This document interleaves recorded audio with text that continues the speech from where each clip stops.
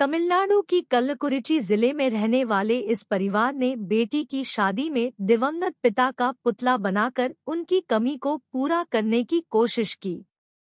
इस बेहद भावुक क्षण को देखकर सभी रिश्तेदारों की आँखें भी नम हो गई। बेटी ने जब पिता के पुतले को देखा तो वह लिपट कर रोने लगी।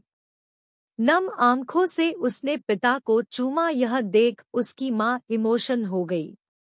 दरअसल कोरोना महामारी के दौरान पिता की संक्रमित होने से मौत हो गई।